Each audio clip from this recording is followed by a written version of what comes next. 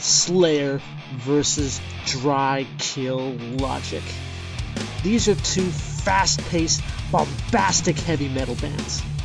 The reason I'm comparing them is because they both have about the same number of good heavy metal songs throughout their careers. Despite Slayer having a longer career, there's still about the same amount of good songs. And I'm also comparing them because I genuinely think that Slayer fans would like Dry Kill Logic. And even people who aren't really big Slayer fans but like Slayer's more famous work would probably like Dry Kill Logic as well. So I'm going to run through my top 12 songs by these two bands right quick. And I'm going to use my heavy music meter to help me describe how heavy the different parts of these songs are. Number 12 is Bloodline by Slayer. The verse features a bold, head nodding rhythm that periodically stumbles on fierce, escalating power chord sequences. That leads nicely into the descending melody and shrill vocal hook of the chorus. At about two minutes, there's an angry bridge that intensifies and leads into a scratchy, erratic guitar solo. Number 11 is Post Mortem, also by Slayer. The very catchy verse riff is periodically broken by sharp, dangerous chords. The chorus kind of revs up like a motor before the next verse riff engages and drives on. This whole song is about at a 9 through the whole thing. Number 10 is Wait by Dry Kill Logic.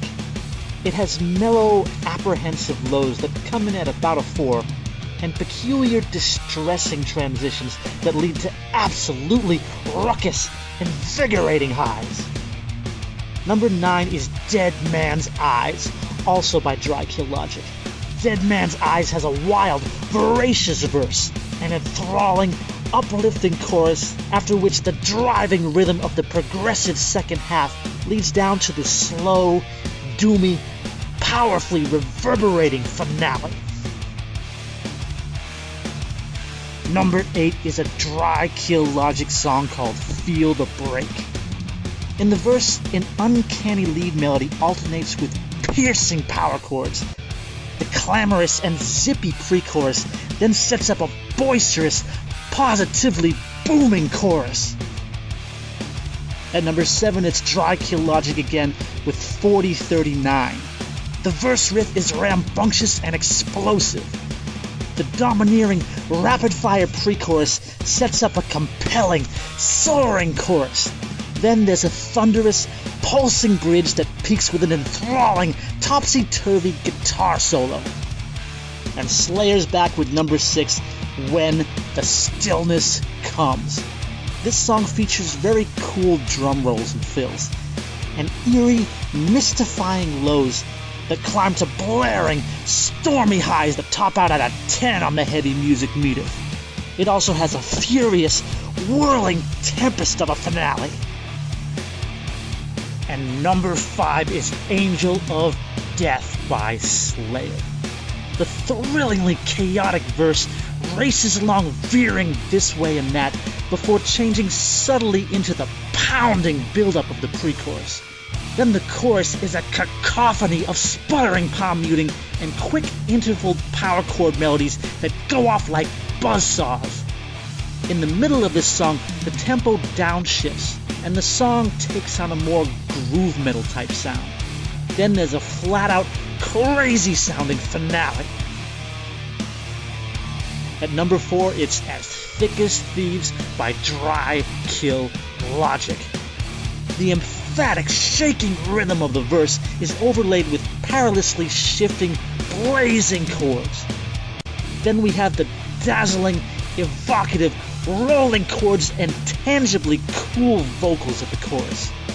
The song also has a voraciously heavy, rip roaring bridge that steps it up from an 8 to a 9.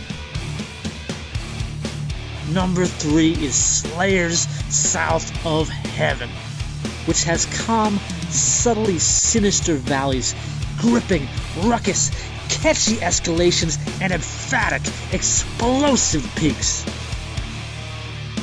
And number two is My Dying Heart by Dry Kill Logic.